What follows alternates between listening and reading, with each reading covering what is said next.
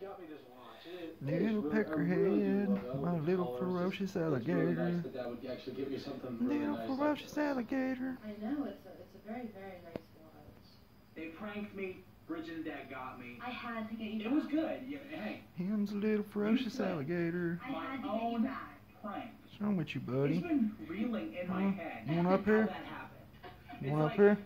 Come on. I don't know why. Huh? You got to bitch. Okay. I don't know why when Dad scratched What's off the with you, luck of the buddy? Irish ticket that I didn't just get it. Like that's not the ticket. But Oh. I, I- for some reason I thought that was the prank He's ticket. my Because best what- old buddy ever. is another ten thousand. I got pranked really good.